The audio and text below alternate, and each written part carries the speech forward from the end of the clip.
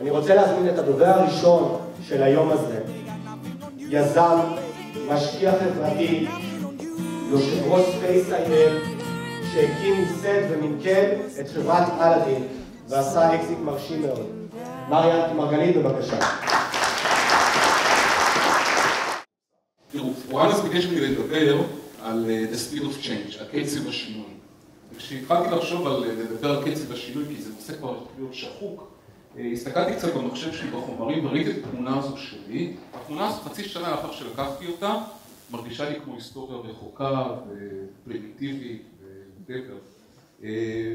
ואני רוצה לדבר באמת על קצב השינוי, על קצב שהדברים משתנים ומה זה אומר עלינו. אז קשה לראות את התמונה הזו פה, זו תמונה של גלקסיה. יש לנו נטייה כאנשים לחשוב שהאנשים זה מרכז היקום. יש לי חדשות בשבילכם הבוקר, האנשים הם לא מרכז היקום, לא הדבר הכי חשוב ביקום, ורוב הזמן שהיקום הזה קיים לידיעתנו, לא קרה שום דבר. שום דבר לא השתנה כמעט. הדבר הזה זה ספינה של איזה שנה ביליון שנה, שדברים משתנים מעט, מעט, מעט, לאט לאט, לפחות בקצב האנושי, הדברים לא משתנים. ולפני בערך ארבעה וחצי ביליון שנה, נוצר לנו הכדור הזה, התחילו פה להתפתח החיים, וגם אז במונחים אנושיים הדברים לא זזים, הם קורים לאט, לאט, לאט. ואני רוצה דרך האיטיות הזאת להביא אתכם לסחרור של הרגע, ולנסות להבין ולחבר את הסחרור המהיר הזה של הרגע לאיטיות ה... ועוד כמה שנים, לא הרבה, תקרה מהפכה גדולה יותר מהאינטרנט. אני יודע את זה, גם אתם יודעים את זה. אנחנו חיים כרגע בתוך איזשהו זמן, בתוך איזושהי מערבולת, שלכאורה, שכל מה שאתם מדברים על הטכנולוגיה זה העבר. כי תוך חמש שנים מהיום קרתה פה מהפכה יותר גדולה מהאינטרנט. במאות שנים האחרונות האדם התחיל להתמודד עם הקצב השינוי שפתאום התחיל להאיץ. אני מאוד אוהב את התמונה הזאת ב-1606, קרמג'ו צייר את סנט ג'רום, מי שתרגם את התנ"ך פנית, לטינית. ואני מאוד אוהב את התמונה הזאת, כי סנט ג'רום עבד תמיד בלחץ של זמן. תמיד היה לחוץ, הוא היה צריך לרכז את עצמו. אתם רואים את הרטלין שלו? יש לו רטלין, יש לו, הגולגולת שהוא שם לו בצד מולו, היא נועדה לפקס אותו, להזכיר לו שהוא הולך למות עוד מעט. ולכן כדאי שהוא יתרכז ויגמור את העבודה שלו מהר. אז אני חושב שאני ממש רואה את זה כרטלין. והתמונה הזו כולה היא תמונה שהיא מפקסת אותי. היא ככה גם כן, גם כן מזכירה לי, כן, הדברים זזים מהר וקצב השינוי גדל. המניפסט הזה, התפיסת עולם הזו, שהעולם משתנה, שהעולם מסתחרר, שהעולם גלובלי, ותראו את שיטת הלימוד בשנת 2000 בבית ספר, זה מדהים. ספרים למבחנה, זה, מוחדר לראש. זה כזה I know kung fu. אתה מתחבר למשהו? I know kung fu. מה הוא צייר פה? 1910? סרט? מילה אחת? סקייפ. סקייפ, נכון. זה סקייפ. כל מי, ש... מי שהיה יזם, יזם והמציא את סקייפ לפני כמה שנים, 1910 הוא כבר המציא את זה. הנה, זה החולם. זה החולם, הוא חיכה את מישהו שיבצע את זה. זה סקייפ, זה מדהים. מה הוא המציא פה? זה מדהים וחמוד וקטן, שהוא מצליח לזהות מה זה? לא, אני חושב שזה הדיסק און קי. תסתכלו על זה. היא מביאה לו דיסק און קי כדי שישים במכשיר מוזיקה וישמע מוזיקה. זה הדיסק און קי, היא מביאה לו תוכן נייד על איזשהו מתקן נייד כזה. חמוד נורא. מה הוא המציא פה? אתם רואים את זה, נכון? טנק, נכון? זה הטנק. ופה? גמפונית של? גמפונית של גוגל. תראו איזה חמוד, זה אפילו יותר חמוד של גוגל. סלון כזה, יושבים, משחקים קלפים, גמפונית נוסעת, נוהגת 1910. ופה מה הוא המציא? כן, מדפסת תלת מימד, כניסה בגדים, נכון? מדפסת תלת מימד, אדם נכנס, טק טק, יוצא לו בצד השני הבגד מוכן. זה אחד הכי חמודים, מה הוא המציא פה? יש לכם רעיון? אז אני רואה פה שני דברים. אחד, אני רואה פה מכוניות מעופפות, אבל לדעתי הוא המציא פה את הפמיניזם. שימו לב שהנהגות של המכוניות המעופפות זה הכל נשים. הוא המציא את זכויות האישה. ב-1930, אגב, מי יכול להגיד לי מהו המחשב הראשון, המחשב הראשון שנבנה אי פעם? יש לזה כל מיני דיונים מעניינים. אני גדלתי כל ילדותי בהנחה שאניאק זה המחשב הראשון. תסתכלו על זה פעם על המחשב הראשון, היום מכתירים את המחשב האלקטרוני הראשון, את ABC, שנבנה בין השנים 39 ל-42. אני חושב שהדבר הזה אנחנו קצת עובר, לא, לא מסתכלים על זה מספיק. כי בנקודת זמן הזאת נכנסנו לסחרור מטורף. זו הנקודה. במאות שנים האחרונות אנחנו בונים, בונים, בונים, בונים, ויש איזה משהו שצריך להבין לדעתי שמסביר את הסחרור של היום. כל מה שטכנולוגיית מידע ממוחשבת נוגעת הופך להיות אקספוננציאלי. תחשבו רגע על המשפט הזה.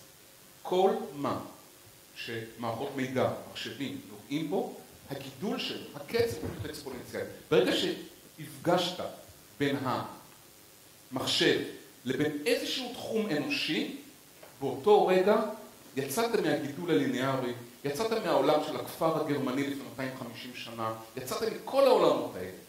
והנקודה היא היום שהמחשב הזה נוגע בכל, כולל הביולוגיה שלנו. וברגע שהמחשב הזה נוגע בביולוגיה שלנו, כשרמזתי לכם על המהפכה הגדולה, תקרה פה בעשר שנים הקרובות יותר גדולה מהאינטרנט, היא תקרה אצלנו בתוך הגוף. במחשב הגופני שלנו, במוח שלנו, ב-DNA שלנו, אנחנו מפגישים את הטכנולוגיה הזאת. אנחנו למעשה נכנסנו למיטה עם הטכנולוגיה. זהו. זהו, חבר'ה, זה, זה לא הפיך. וברגע שנכנסנו למיטה עם הטכנולוגיה, וברגע שהפגשנו את טכנולוגיית המידע עם האנושי, עם הגוף שלנו, עם המוח שלנו, אנחנו מאיצים עכשיו את עצמנו באופן אקספוננציאלי, אנחנו יוצרים מין אנושי חדש, זה כבר לא הומו ספיאנס הרגיל, ואנחנו בדרך ליציאת מה שאני קורא לו הומו ספיאנס 2.0. ועכשיו אפשר לדבר הרבה על הומו ספיאנס 2.0, אבל יש לי מחשבה אחת שאני רוצה לתת לכם. א', מחשבה אופטימית. המחשבה האופטימית היא, אנחנו מפחדים מהומו ספיאנס 2.0, כי אנחנו מפחדים מטכנולוגיה, כי אנחנו מפחדים מקצב השינוי, כי אנחנו מפחדים מהשונה, אין מה לפחד. אני חושב שהסנאי, הדג לא מפחד מהסנאי, הסנאי לא מפחד מהקוף, הקוף לא מפחד מהבן אדם, ואני לא מפחד מהדור הבא שיגיע. אבל אני חושב שאנחנו צריכים לפתוח את העיניים ולראות את השינוי הזה קורה כרגע. וזו מחשבה דווקא אופטימית, אני חושב שזה שינוי טוב, זו קדמה. אנחנו משתלבים בטכנולוגיה, יוצרים את הומו ספיאנס. וקצב השינוי גם, אני חוזר חזרה להתחלה של השיחה שלי, אטומים, מיליארדי שנה, גלקסיות, מיליארדי שנה, כדור הארץ, ארבעה וחצי, חיים, מוחות, הומו ספיאנס, תרבות, חיטה, טכנולוגיה. פה זה מאות שנים, עשרות שנים, שנים, ושם זה מיליארדי שנים. הסחרור הוא אה, מטורף. אבל יש לי עוד מחשבה פחות אופטימית לגבי ההומו ספיאנס. והמחשבה הזאת אומרת דבר כזה, לא נקום יום אחד בבוקר ונשתנה. לא נקום יום אחד בבוקר והמין האנושי יהפוך להיות הומו ספיאנס 2.0. מה שיקרה, לדעתי, מה שקרה בהיסטוריה עד היום, זה שקבוצה מתוכנו תתבדל החוצה. אנחנו נתפצל, נתפלג. ההומו ספיאנס 2.0 יהיה מין חדש, משולב טכנולוגיה, שיתפצל מההומו ספיאנס הקיים, ורובנו נשאר בהומו ספיאנס רגיל. כמו שרוב אבותינו ואימותינו נשארו חיידקים. ורק מעט מאוד מאבותינו ואימותינו התקדמו הלאה, ורובנו נשארנו קופים, ורק משפחה אחת יצאה החוצה. אחרי זה הרגנו את כולם, אבל רצפנו את כולם, אבל לא משנה. אנחנו לדעתי נקום לא בטווח של אלפי שנים, בטווח של העשרות שנים הקרובות, ונגלה שהומו ספיאנס 2.0 התפצל מהמין האנושי, משולב בטכנולוגיה, זו מחשבה פחות, פחות נעימה. ואני חושב שהיא מטילה הרבה מאוד אחריות על כולנו פה, לא רק לצפות את הקדמה, לעבוד עם הקדמה, ליהנות מהקדמה, אלא אולי גם לקחת איתנו יותר אנשים לקדמה. פה אני, אני עצמי קצת מסתחרר, אני מדבר על שינוי, על מהירות, על קצב השינוי. וכולנו יודעים שאנחנו מהירות, למעשה מהירות גבוהה, לא כל כך מרגישים, אבל תאוצה אנחנו מרגישים מצוין. ומה שקורה כרגע זה תאוצה. אני הולך עכשיו להראות לכם סדרה של גרפים, שלכולם יש מכנה משותף אחד. כולם נראים כמו הברך הזאת. כולם נראים כמו הקו הירוק. יש משהו מיוחד בקו הירוק. הקו הירוק הוא קו אקספוננציאלי, קו מאיץ. הקו האדום הוא קו שאומר, אני גדל כל פעם באיזשהו משהו קבוע. והקו הכחול, או x בשלישית, אומר, אני, יש לי איזשהו x, אני כל פעם בדור הבא, x1, x2, x3, x3, גדל ככה. אבל הקו הירוק הוא קו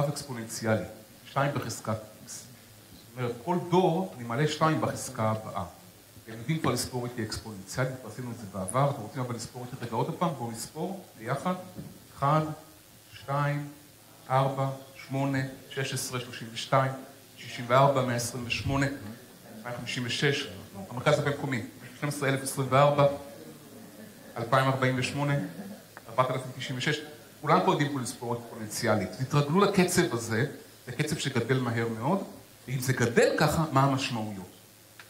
בואו נתחיל לראות גרפים שמראים לי איפה הדברים האלה קורים. אז קודם כל, המקום הראשון שבו השינוי הזה קורה, זה כמובן בעולם המחשבים עצמו. המחשבים, כוח החישוב שלהם, גדל בשנים האחרונות באופן אקספוננציאלי. הוא גדל בצורה כזאת שאנחנו כבר לא מתביישים לשים מחשבים ליד בעלי חיים ולהגיד איפה עוצמת המחשוב של המחשב זהה לאיזשהו בעל חיים, אם זה תולעת, אם זה לטאה, אם זה עכבר, אם זה קוף, אם זה בן אדם. הערכות אומרות שבקצב הזה, תוך, אה, בוא נניח, 30 אה, שנה, אה, מחשב יהיה יותר אינטליגנטי מכל האנושות כולה ביחד. תחשבו קצת על המשפט הזה. המחשב יהיה יותר אינטליגנטי מכל האנושות כולה ביחד. זה קשה נורא לתפוס את זה. א', יש כאלה שהתנגדו בכלל לאמירה שלי שמחשב הוא אינטליגנטי. אז לאלה אני אגיד להם, קחו כוס קפה, תעוררו, בוקר טוב. וכל מי שמפחד להגיד שמחשב חושב, שיתרגל, מחשב חושב. וכל מי שמפסיד למחשב בשח, זה בסדר, ובשש זה בסדר. וכל מי שמחשב נוהג במכונית יותר טוב ממנו, או שהוא טייס יותר טוב ממנו, או שהוא רופא יותר טוב ממנו, או ווטאבר, זה בסדר. מחשבים חושבים, מחשבים חושבים מצוין, מחשבים חושבים יותר ויותר אה, מהר, יותר ויותר אינטליגנטי, והגרף הזה הוא גרף שהחשיבות שלו היא לא במה שהשגנו עד עכשיו, אלא אם תדמיינו את הקו הזה ממשיך חמש, עשר ועשרים שנה, לא תתביישו לדמיין מחשב יותר אינטליגנטי מכל המין האנושי כולו. אבל החדשות הטובות הן שהוא לא האויב שלנו. להפך, אנחנו משתלבים בתוך הדבר הזה. בואו נראה עוד גרפים כאלה.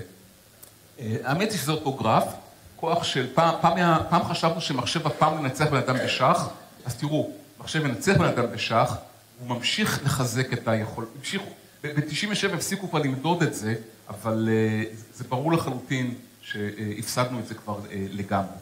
בואו תסתכלו, הגרף הזה קצת קשה לי יותר לראות אותו, על כמות ה-Devices שמחוברים לאינטרנט. המוחות האנושיים האינטליגנטיים הופכים להיות מיעוט ברשת האינטליגנטית. תחשבו על זה ככה, הרשת שמחברת את כולנו, והרשת הזאת מחברת אנשים, מחשבים, דיווייסים, סמארטפונים, מחשבים חכמים, מחשבי שח, טייסי, טייסי אה, קרב, טייסי קרב ממוחשבים. הרשת מחברת את הכל, האנושות יהיה מיעוט זניח בתוכה, היא כבר עכשיו, תוך כמה שנים אנחנו חלק קטן מרשת הרבה יותר אינטליגנטית. בואו נמשיך הלאה. אחד הגרפים הכי מעניינים אותי הוא הגרף הזה, שמציג את עלות ה sequencing של ה genome האנושי שלנו בדולרים לאורך השנים. ומה מדהים בגרף הזה?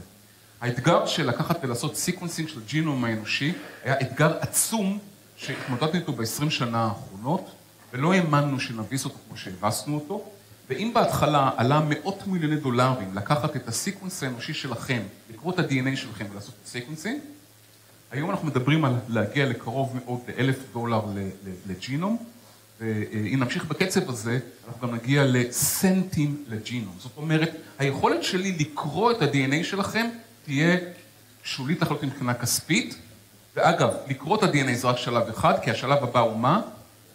לכתוב את ה-DNA. לכתוב את ה-DNA. ואנחנו הולכים גם לכתוב את ה-DNA. אנחנו תכף נראה גם גרף שמראה את עלות כתיבת DNA. תכנות חיים, תכנות בני אדם, שיפור בני אדם, שיפור יצורים חיים או מה שזה לא יהיה. מה שמיוחד בגרף הזה, זה שהוא גרף שמעיד על התקדמות מאיצה יותר מהירה מההתקדמות, אנחנו מכירים כולם את חוק מור, חוק מור שכל שנתיים בערך המחשב אה, אה, פי שתיים גדל ביכולת, ביכולת העוצמה שלו, ההתקדמות פה הייתה יותר מהירה מחוק מור. ובקצב הזה אנחנו שוב מגיעים למצב שהביולוגיה הפכה להיות פלטפורמה פתוחה לחלוטין למחשוב אנושי, וזה אה, עושה מדהים.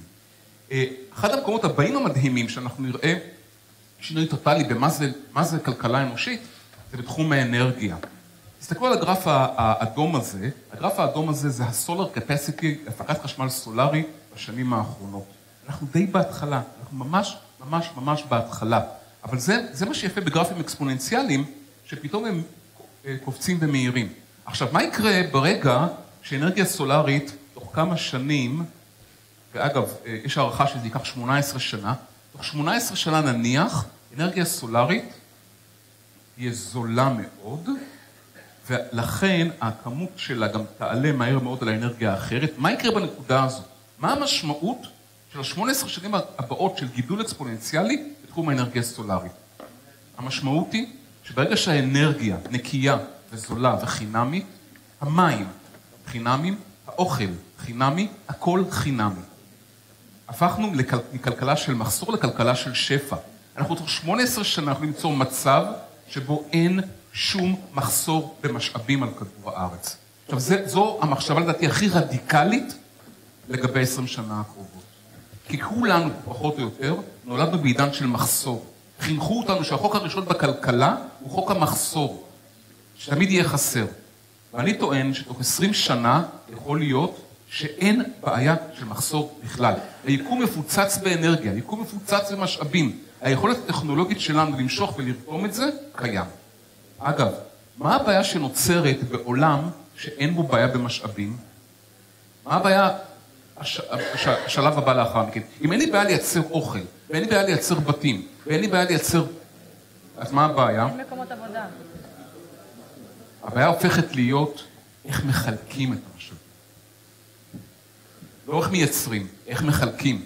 התכוננו להגיע לדור שבו האתגר האמיתי שלנו זה איך לחלק. ואגב, הגענו כבר לדור הזה. רוטשילד, תחריר, ניו יורק, ספרד, כל העולם עומד וצועק לחלק את המשאבים טוב יותר. עומדים הנגידים, עומדים הכלכלנים, עומדים השרי אוצר, ואומרים, הכלכלה הכי טובה מאי פעם. הם צודקים, הכלכלה הכי טובה מאי פעם. אבל השאלה היא איך לחלק את התפוקה, איך מחלקים את זה, מי יקבל מה, באיזה אופן. אני חושב שהשינוי הזה, זה שינוי של הדור הבא, צריך להפנים אותו. אגב, החרדים הבינו אותו קצת לפנינו, ושימו לב, הם כבר לא מוטרדים מאיך לייצר, אלא רק מה, מה לעשות עם הזמן שלהם. Welcome לעידן שבו לאף אחד מאיתנו אין עבודה, כי לא צריך עבודה. העבודה האנושית אין לה שום ערך בעולם שאני מתאר בו אותו אה, כרגע, יש לה ערך קטן מאוד, או למעט מאוד אנשים יש ערך, והשאלה היא איך מחלקים את התפוקה. אני חושב ש... עדיין יהיה? מי יהיה עם היד על הברז. אגב, בנקודה הזאת, הרבה מאוד מהחברים שלי אומרים, אומרים דבר שאני לא מסכים איתו. הם אומרים, ברגע שהמים עולים, כל הספינות עולות, לכולם יש יותר. ואני טוען שאם המים עולים, ויש כאלה שעולים הרבה יותר, ויש כאלה שעולים פחות, זה לא משנה שכולם יש יותר, הפער הוא מה שמשנה. הפער החברתי הוא מה שמשנה, והאושר שלנו נובע מהפער ולא מה, מהסך הכול. אבל אנחנו הולכים לתוך, לתוך העידן הזה ולתוך האתגרים האלה. תראו, הראיתי לכם גרף של אנרגיה, של DNA, של מחשבים. הנקודה היא שגם בפרמטרים החברתיים הכל מאיץ, משתפר ונעשה טוב יותר.